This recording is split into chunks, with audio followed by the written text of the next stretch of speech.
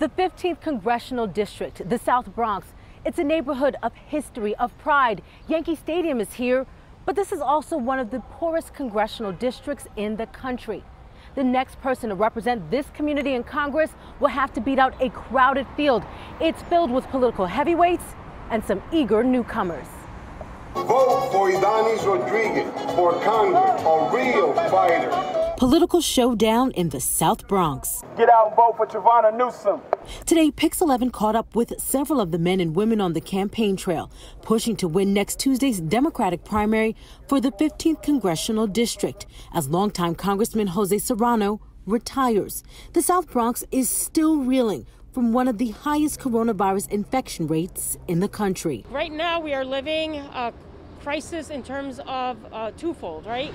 COVID and uh, racial inequality. Will Democratic primary voters choose established politicians like former City Council Speaker Melissa Mark Viverito, Assemblyman Michael Blake, or even Councilman Ydanis Rodriguez? Soy un inmigrante. I'm an immigrant. They are with me. I'm the immigrant that came from Nigeria, from Mali, from Ghana, from Congo, as I came from the Dominican Republic. Or will Bronxites select a fresh face to politics? Tomas Ramos is an educator. I'm just like everybody else. I'm a, I'm a normal person that has a lot of concerns for our community. I'm an educator, I'm a community organizer. Chivona Newsome is a co-founder of Black Lives Matter Greater New York. I want people to know that I'm a revolutionary, that I'm a fighter, and I'm unbought and unbossed, as Shirley Chisholm would say, that I've been here fighting with no recognition and no pay. And once I get to D.C., I'll have power to change all of our lives.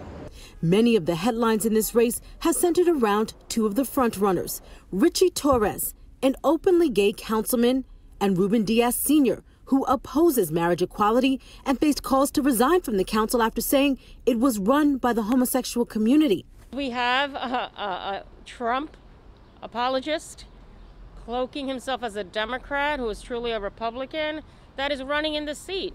Diaz Sr. has been absent from primary debates focused on reaching voters directly. Several political analysts tell Pix 11 Diaz Sr. has two advantages in this race strong name recognition, and as the only conservative Democrat, his more liberal opponents may split progressives, clearing the way for Diaz Sr. to emerge as the candidate with the most votes. When Ruben Diaz Sr. appears on the primary ballot next Tuesday, he will just be listed as Ruben Diaz. And some political observers note voters may confuse him with his son, the very popular Bronx Borough President, Ruben Diaz Jr. One thing is for sure, this is a race that we will continue to watch. Reporting from the South Bronx, Ayana Harry, Pix 11 News.